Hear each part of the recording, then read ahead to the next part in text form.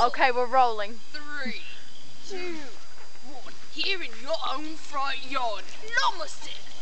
You hear the mating call of the angry, stopped up llama man? The... He says, he says, oh my lady. That is I, a... think, I think he's almost done. He's tired. Oh. Oh, llama. Llama says good.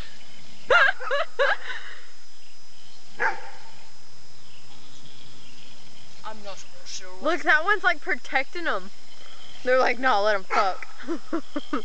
And here we have Roxy, the cock block. Says, no, you fuckers.